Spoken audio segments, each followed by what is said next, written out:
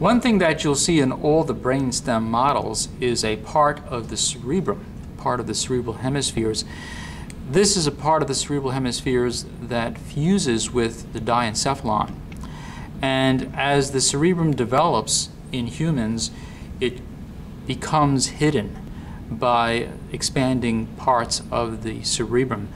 So in order to see the insula, which is what this is, this is the insula, in order to see the insula on an intact brain, you would have to go into the lateral fissure and separate the temporal and the frontal lobes from one another, and then you'll be able to see this. So what you're seeing here is the cut surface of the cerebrum as the surrounding cerebrum has been removed so that you can see this brainstem and you can also now see the insula. So this is part of the cerebral cortex called the insula. Right Here is a different view of this model.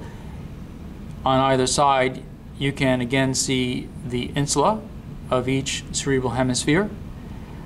Right over here, this is represents the top of the corpus callosum, which we'll see from a different angle.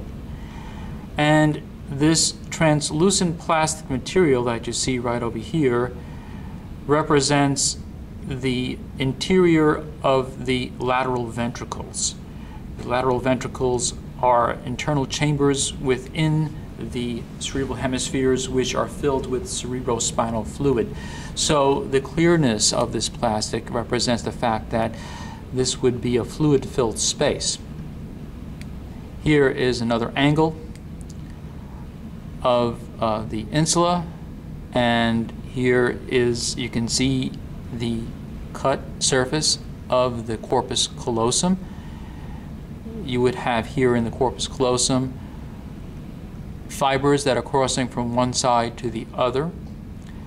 Uh, right over here you have the genu of the corpus callosum and right back over here you have the splenium of the corpus callosum.